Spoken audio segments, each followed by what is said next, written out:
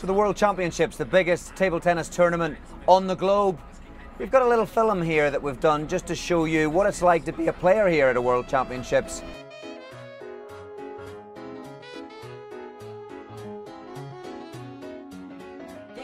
Players coming off the bus, inevitably the first stop is the practice hall. They'll have a schedule, they'll know when they're playing. They're doing the last warm up here in the warm up hall, the practice hall. All technical work has been done through the season. As I said, these players are looking forward to this event through the season. This is hall two, plenty of action going on, 28 tables and space for 2,000 spectators. So great atmosphere, great conditions for the players from all over the world.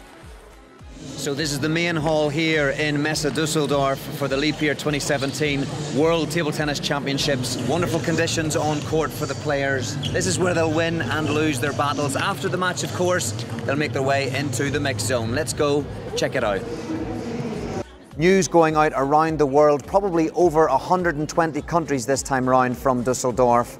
Over 400 million viewers planned for this World Championships. And the other important element of media interaction for our players here in Dusseldorf, press conferences right here in the media centre. 108 countries and 613 players here in Dusseldorf. Plenty of media interest so that's it from behind the scenes here at the Messe Dusseldorf for the Liebherr 2017 World Table Tennis Championships. We hope that's given you a little bit of a view of what's going on for the players in their world here as they vie to become world champions in Germany.